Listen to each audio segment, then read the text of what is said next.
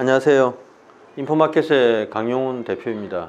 24년 반도체 키워드 두 번째 제국의 이제 부활인데요.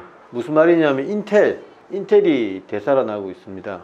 그래서 인텔의 내년 향방이 어쩌면 내년 반도체 시장을 좌지우지할 수 있는 굉장히 커다란 어젠다이다 이렇게 말씀을 드립니다. 설마 그 인텔이 그 인텔 말하는 거냐? 한때 외계인을 갈아 마셔서 기술을 만든다 할 정도로 기술의 총화였는데 이제는 뒷방 늙은이로 취급되면서 AMD한테 CPU 시장도 밀리고요. 그 다음 뭐 삼성전자 같은 회사한테도 전체 반도체 총액 매출 순위도 밀리고 어쨌거나 지금 출시 일정도 자꾸 뭐 늦춰지는 등 신뢰도 약간 잃게 돼서요. 인텔이 동네북인데 시총도 낮잖아요. 삼성전자보다 못하거든요. 근데 인텔이 내년에 화려하게 부활할 조짐이 몇 가지가 아니고 여러 가지가 보이고 있습니다. High NA를 통해서 미세화를 추진하고 있고요. High NA는 ASML의 차세대 노광기를 High NA 노광기라고 하죠. 그 다음에 두 번째는 이제 on-device AI가 지금 붐을 타고 있는데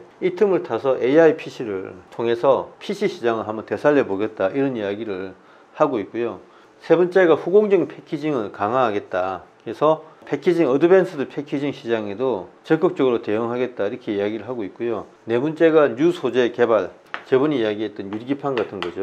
지금 이런 기술과 역량이 있는지는 모르겠지만 다방면으로 지금 활발하게 활동을 하고 있습니다. 이 중에서 한두 개라도 성공을 하면 내년에 인텔은 엄청나게 주가가 오르고 또 라이벌 업체에 충격파를 안겨줄 것 같은데 하나하나 보시죠.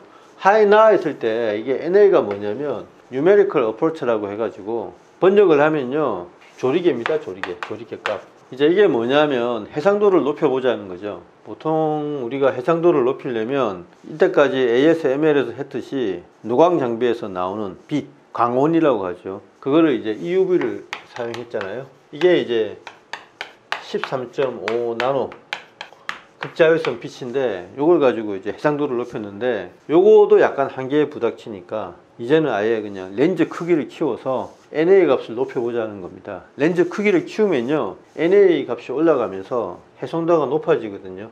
조금 구체적으로 이제 말씀을 드리면 R은 이렇게 씁니다. 분자가 람다고요. 그 다음에 이게 이제 공정 상수가 되고요. 이게 NA입니다. 그래서 이렇게 써야 됩니다.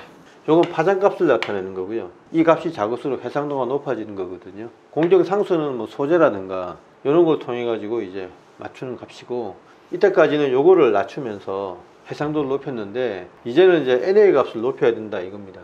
NA가 뭐냐면 이게 렌즈라고 해보죠. 렌즈.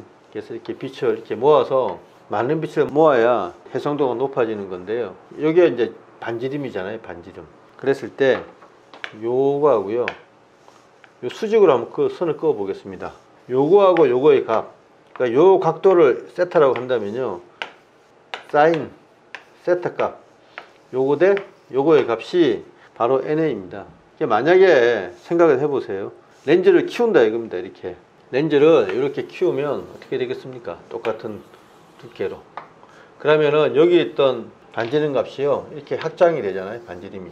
그러면 요렇게 되면서 요 값은 그대로인데 요것만 수직축만 길어지잖아요 이렇게. 그러면 요거와 요거의 값이 아까 그거보다는 커지잖아요. 그러니까 반지름이 렌즈를 키우면 키울수록, 키울수록 요 사인 값이 정비례해서 늘어나는 건 아닌데 어느 정도 늘어난다 이겁니다. 이번에 이제 ASML의 하이나 이 장비는요 이 NA 값이 얼마냐면요 0.5입니다 0.5 그럼 그 전에 얼마였냐? 0.33이었거든요 이만큼 1.7배나 8배 정도 되겠는데 이렇게 늘어나면 여기에 비례해서 이 전체 해상도가 높아지는 거예요. 아까 그 식에 따라서 이렇게 되는 건데 어쨌든 렌즈 크기가 크면 클수록 반지름이 늘어나면 늘수록 정비례 하는 건 아니지만 거기에 비례해서 어느 정도 해상도는 확보가 된다. 근데 문제는 이 장비를요.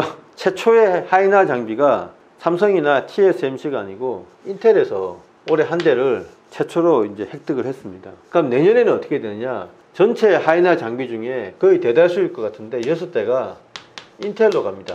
야, 인텔이 무슨 돈이 있어서 그러냐? 그래도 이거를 살 돈이 있나 봅니다. 만만치가 않은데요. 이 한 대 값이 얼마냐고 하냐면 3억 달러에서 4억 달러라고 하거든요. 제가 저번에 2, 3천억이라 했는데 그건 잘못된 표현이었고요. 정확하게 하면 4천억에서 5천억입니다. 한 대. 상상을 초월한 가격인데 요거를 무려 6대나 내년에 인텔에서 가져간다고 하거든요. 그러니까 이 비싼 장비를 이미 이렇게 구매 계획을 세웠을 때는 공정의 어떤 발전 계획 치밀하게 세워놓지 않고서야 몇 조 원에 달하는 돈을 쏟아부을 리가 없지 않습니까? 처음에 우리가 이게 인텔이 이거 한다고 했을 때 우습게 알았는데 이게 전혀 우습지 않게 됐어요. 굉장히 진지하게 지금 이거를 하이나를 통해서 미샤를 추구하고 있다 이겁니다. 그래서 가격이 어마어마 비싸고 이걸 가지고 이제 인텔이 하고 싶은 거는 뭐냐면 진짜 25년에 18 옹스트롬 있지 않습니까? 1.8 나노 선폭을 가지는 이 칩을 양산하겠다라고 이렇게 공언을 하고 있거든요. 일단 이렇게 하이나 장비를 들이게 되면요. 전부 공정이 다 바뀌어야 됩니다. 심지어는 photomask 크기도 절반으로 줄여야 된다고 하거든요. 그리고 저번에 레이저텍 이야기할 때도 말씀드렸듯이 anamorphic 요 관련된 것도 기술이 도입이 된다고 합니다. 상을 일부러 일그러 뜨리려고 하는 건데요. 그거는 High NA 도입할 때 발생하는 문제점을 해결하기 위해서 anamorphic을 도입한다고 하는데 여기에 따라서 레이저텍 장비도 여기에 대응하는 검사 장비를 갖추게 된다. 뭐 이렇게 설명을 드렸는데 어쨌든 그 하이나를 통해서 미사에 굉장히 공을 들이고 있고 이 과정에서 TSMC나 삼성전자보다 훨씬 빨리 노하우를 획득하게 될 것이다. 인텔이 먼저 해서 표준을 세우는 게 또 업계 표준이 될 수도 있거든요. 예, 지금 뭐 업계 전체가 지금 인텔의 행보를 알게 모르게 바짝 긴장하면서 쳐다보고 있는 이유가 됩니다. 예, 두 번째가 이제 on-device AI인데요. AI PC를 이제 통해서 지금 뭐 PC 시장을 한번 되살려 보겠다는 건데 여러분 on-device AI가 뭔지 아십니까? 이게 정의가 아주 모호한데요. 일단은 현재 나온 걸 보면 네트워크 상의 AI를 이용하지 않고도 자체 칩만 가지고도 AI 서비스를 해보자는 거거든요. 어떤 칩이냐면 스마트폰 그리고 PC 여기 인터넷상의 AI 파워를 활용하지 않고 직접 AI를 할 수 있다 이겁니다. 그래서 왜 이렇게 하냐면 보안 문제 때문에 그러니까 네트워크 상에 접속이 되어 있으면 개인 정보가 누출될 염려가 있다 이런 거거든요. 그리고 또 네트워크 상에 AI computing 파워를 이용해서 엄청난 양을 학습을 하면 그거를 저장을 해놓고 언제든지 꺼집어낼 수 있으니까 거기에 저장된 데이터를 바탕으로 해서 개인을 위한 제한된 AI 서비스가 가능하지 않겠냐 이런 아이디어입니다. 어, 인텔에서 이제 이 AI PC용 칩이라고 해서 Meteor Lake 개발명은 Meteor Lake인데 실제 상품명은요 Core Ultra라고 하죠. 이거를 내놨습니다. 그제 12월 14일 날. 그래서 이제 약간의 시연을 보여주었는데 그때 뭐라고 했냐면 AI 기능이 장착된 Adobe의 어, Premiere Pro 그게 작동 속도가 40% 정도 향상된다고 자랑을 했었는데요. 그러니까 AI PC 1억대 이상의 이 관련 칩을 공급하겠다 이런 포부를 밝히고 있습니다. 그래서 저는 어떻게 생각하냐면 절대 이 네트워크를 떠나서 독자적인 AI는 되지 않을 거예요. 왜냐하면 워낙 네트워크 상에 AI 컴퓨팅 파워가 막강하기 때문에 그거를 사용하고 싶은 욕구가 누구나 꿈틀꿈틀 할 거다 이겁니다. 그걸 가지고 쓰면 엄청난 저 AI 파워를 내 거로 쓸 수 있는데 왜 안 쓰냐? 보안 문제 가지고 쓰긴 쓸 거거든요. 다만 AI PC를 말로 한다고 했지 않습니까? 그러면 PC를 이제는 켜고 닫는 끄는 것도 말 이 명령어 가지고 할 수도 있거든요. 안에 내장된 칩이 이게 이 사람의 음성인지 주인의 음성인지를 파장이나 어떤 성조, 그 다음에 언어 습관, 발음 습관을 가지고 구분해는 그런 서비스도 가능하다 이겁니다. 이 정도는 굳이 네트워크 상에서 하지 않고도 가능하거든요. 방대한 학습을 통하지 않고서도 내 주인의 목소리만 계속 반복적으로 학습하는데 굳이 방대한 computing 파워가 필요가 없잖아요. 그런 측면에서 어떻게 보면 일종의 단말로서 그러니까 네트워크 상에 존재하는 AI computing 세계에 들어가기 위한 관문으로서 제한된 AI 파워를 제공하는 게 저는 on-device AI라고 저는 생각하고 있거든요. 그래서 양자가 배척하는 게 아니고 상호 보완적일 것이다 이 생각을 하고 있습니다. 어쨌든 마케팅의 일환으로 on-device AI를 업체들이 끌고 나온 것 같고요. AI PC도 과거 PC 시장의 영화를 되살려보자 이런 측면에서 업체들에서 밀고 있는 것 같은데요. 이것도 어쨌든 인텔까지 가세를 하고 여기에다 애플이 또 가세를 하게 되면 이게 이제 개인들이 느끼는 어떤 체감도가 굉장히 올라가겠죠. 주가는 많이 올라가지 않을까 이런 생각을 하고 있습니다. 세 번째로 후공정 패키징을 강화하겠다는 거잖아요. 그래서 말레이시아에 공장을 지어서 2024년에 완공을 한다고 하죠.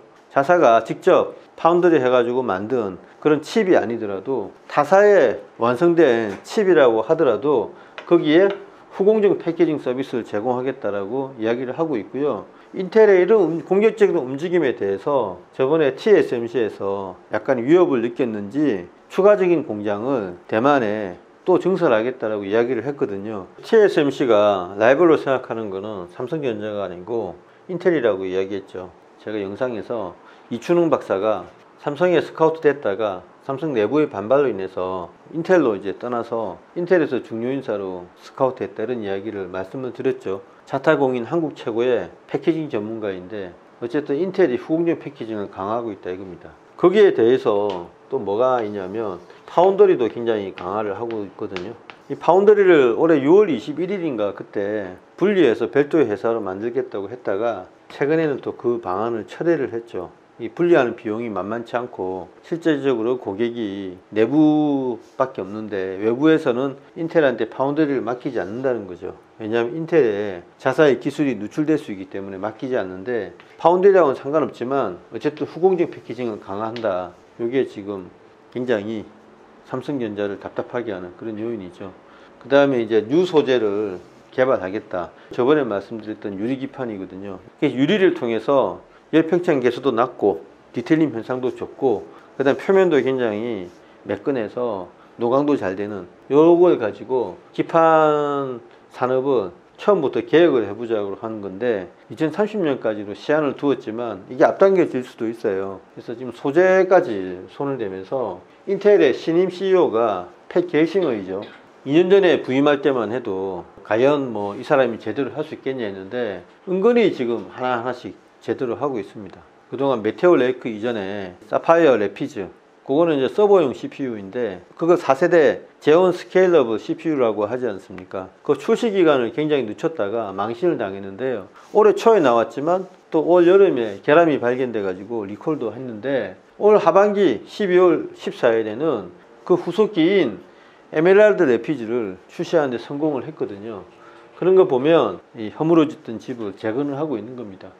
제가 그래서 제국의 부활이라고 말씀을 드렸는데 ASML의 극자외선 노광 아이디어가요. 최초에는 인텔에서 제시한 겁니다. 그러니까 무어의 법칙이라고 1년 6개월마다 집적도가 두 배씩 늘어난다는 그 법칙을 지키기 위해서 인텔에서 고심 끝에 EUV 가지고 노광을 해보자 해서 초기에 막대한 연구비를 대주었거든요. 아마 이런 하이날 장비를 ASML로부터 인텔이 최초 구매하게 된 데는 그런 초기에 인텔의 어떤 영향력 이런 것들이 다시 한번 작용하지 않았나 싶고요. 인텔을 무시하시면 안 됩니다. 그래서 내년에 키워드는요, 인텔의 부활입니다. 이 인텔의 부활로 인해서 삼성전자하고 하이닉스 향으로만 집결되었던 국내 소부장 업체들이 어떻게 인텔에 선을 대느냐 이에 따라서 또 실적의 명암이 엇갈릴 수도 있다. 요거를 말씀드리겠습니다. 네, 감사합니다.